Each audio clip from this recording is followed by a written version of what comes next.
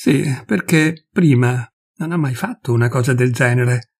Chiedere la colazione a letto con due uova, da quando eravamo all'albergo Sitianus, quando faceva finta di star male, con la voce da sofferente, e faceva il pascià per rendersi interessante con Mrs. Riordan, vecchia befana, e lui credeva d'essere nelle sue grazie, e lei non ci lasciò un baiocco, tutte messe per sé e per l'anima sua, spilorcia maledetta. Aveva paura di tirar fuori quattro soldi per lo spirito da ardere. Mi raccontava di tutti i suoi mali. Aveva la mania di far sempre i soliti discorsi di politica e i terremoti e la fine del mondo. Divertiamoci prima, Dio ci scampi e liberi tutti. Se tutte le donne fossero come lei, a sputar fuoco contro i costumi da bagno e le scollature che nessuno avrebbe voluto vedere addosso a lei, si capisce, dico io, che era pia, perché nessun uomo si è mai voltato a guardarla. Spero di non diventare come lei. Miracolo che non voleva che ci si coprisse la faccia, ma certo era una donna colta e quelle buggerate su Mr. Jordan qua e Mr. Jordan là. Io dico, è stato felice di levarsela di torno. Il suo cane, che mi odorava la pelliccia e cercava di infilarmisi tra le sottane. Specialmente quando, eppure questo mi piace in lui, così gentile con le vecchie e i camerieri e anche i poveri. Non è orgoglioso, di nulla proprio. Ma non sempre. Se mai gli capita qualcosa di grave, è meglio che vadano all'ospedale, dove tutto è pulito. Ma io dico, mi ci vorrebbe un mese per cacciarglielo in testa, sì? E poi ci sarebbe subito un'infermiera tra i piedi. E lui ci metterebbe le radici finché non lo buttano fuori. Una monaca, forse, come quella della fotografia schifosa che ha.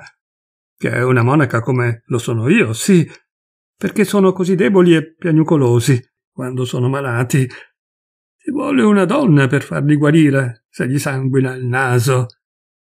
C'è da credere che sia un dramma in piena regola. E quell'aria da moribondo scendendo dalla circolare sud quando s'era slogata una caviglia alla festa della corale di Monte Pan di Zucchero. Il giorno che avevo quel vestito. Mrs. Stack gli portò i fiori i peggio che avevo trovato, appassiti, in fondo al paniere. Cosa non avrebbe fatto per entrare in camera di un uomo con quella voce da zitella? Cercava di immaginarsi che stesse morendo per amor suo, non più mai rivederti, benché avesse l'aria più da uomo con la barba un po' lunga. A letto papà era lo stesso, e poi non mi andava di fasciarlo e dargli pozioni quando si tagliò il dito del piede col rasoio a spuntarsi calli. Paura di un avvelenamento del sangue, ma. Ma se fossi io, per esempio, ad ammalarmi, allora vorrei vedere un po'. Solo che la donna lo nasconde, si capisce, per non dare tante seccature come loro. Sì, ha fatto qualcosa in qualche posto, me ne accorgo dall'appetito. Comunque non è amore, se no non mangerebbe per pensare a lei. Così.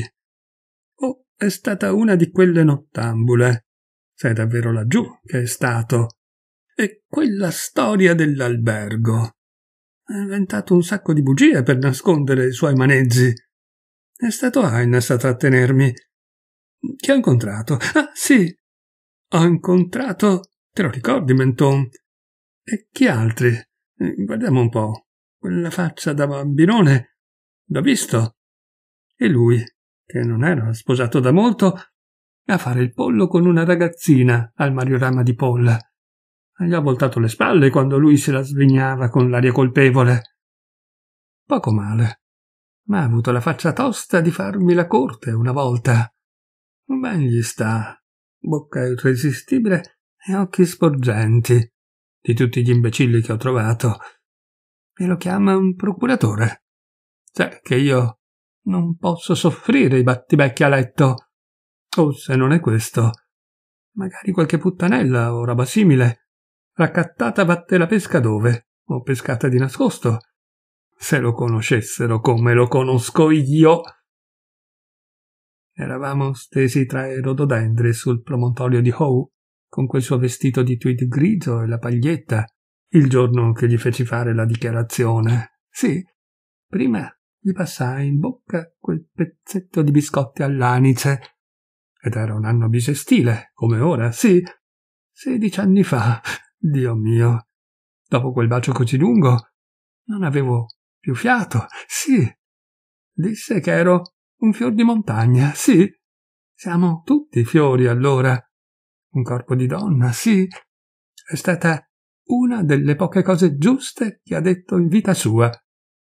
Il sole splende per te oggi, sì. Perciò mi piacque, sì, perché vidi che capiva, o almeno sentiva, cos'è una donna, e io sapevo che me lo sarei rigirato come volevo, e gli detti quanto più piacere potevo per portarlo a quel punto, finché non mi chiese di dire di sì, e io, da principio, non volevo rispondere, guardavo solo in giro, il cielo e il mare. Pensavo a tante cose che lui non sapeva. Di Mulvey, Mr. Stanhope, di Esther e papà, il vecchio capitano Groves, e i marinai che giocavano al piattello e alla cavallina, come dicevano loro, sul molo, e la sentinella, davanti alla casa del governatore, con quella cosa attorno all'elmetto bianco. Povero diavolo, mezzo arrostito, e le ragazze spagnole che ridevano dei loro scialli, e quei pettini alti e le aste, e la mattina i greci e gli ebrei e gli arabi, e il diavolo sa chi altro, da tutte le parti d'Europa, e Duke Street e il mercato del pollame. Un gran pigolio davanti alle Abbey Sharon, e i poveri ciuchini che inciampavano mezzo addormentati, e gli uomini avvolti nei loro mantelli addormentati all'ombra degli scalini, e le grandi ruote dei carri e dei tori, e il vecchio castello, vecchio di mille anni, sì, e quei bei mori, tutti in bianco e turbanti, come re, che ti chiedevano di mettersi a sedere in quei loro buchi di botteghe. E Ronda, con le vecchie finestre delle posadas, fulgidi occhi, celava l'inferriata perché il suo amante baciasse le sbarre. E le gargotte, mezze aperte la notte, e le nacchere, e la notte che perdemmo il battello ad Algesiras, il sereno che faceva il suo giro con la sua lampada, e... oh, quel pauroso torrente, laggiù, in fondo, oh, e il mare, il mare, qualche volta cremisi come il fuoco, e gli splendidi tramonti, e i fichi nei giardini dell'Almeda. Sì, e tutte quelle stradine curiose, e le case rosee, azzurre e gialle, e i roseti e i gelsomini, e i gerani e i cactus, e Gibilterra. Da ragazza, dov'era un fior di montagna, sì, quando mi misi la rosa nei capelli, come facevano le ragazze andaluse. O ne porterò una rossa, sì, e come mi baciò sotto il muro moresco. E io pensavo, e beh, lui ne vale un altro. E poi gli chiesi, con gli occhi di chiedere ancora, sì.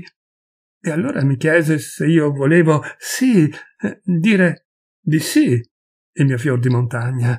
E per prima cosa gli misi le braccia intorno, sì, e me lo tirai addosso in modo che mi potesse sentire il petto. Tutto profumato, sì, e il suo cuore batteva, come impazzito. E sì, dissi. Sì, voglio. Sì.